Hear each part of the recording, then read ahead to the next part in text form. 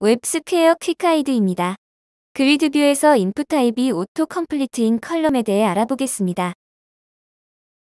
이 비디오는 GridView의 특정 컬럼을 인풋 타입이 오토 컴플리트인 컬럼으로 설정하는 방법을 설명합니다. GridView에서 column을 선택한 뒤 input type 속성을 auto complete로 설정하고 display mode와 view type도 함께 설정하십시오. 예제를 통해 확인해 보겠습니다. GridView입니다. GridView는 현재 data list 1과 binding되어 있습니다.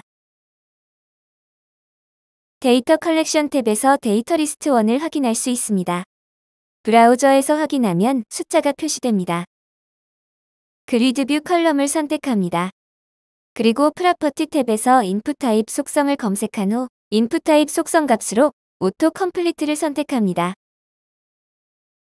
저장합니다. data collection 탭에는 data list 1 이외에 또 다른 data list가 있습니다. 인풋 타입이 오토 컴플리트인 컬럼과 바인딩할 데이터 리스트로 아이디는 auto complete입니다. outline view의 head 탭에서 input type을 auto complete로 지정할 column을 더블 클릭하십시오. 아이디가 auto complete인 data list와 binding 하십시오.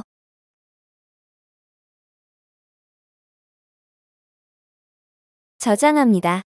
숫자만 표시됩니다.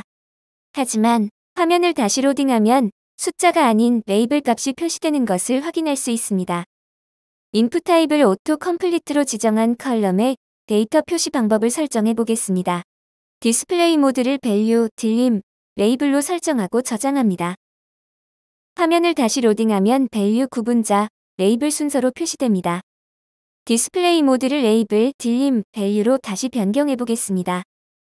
저장 후 화면을 다시 로딩하면 레이블, 구분자, value 순서로 표시됩니다. 이번에는 각 셀의 화살표 기호를 표시하기 위해 view type 속성 값을 icon으로 설정해 보겠습니다.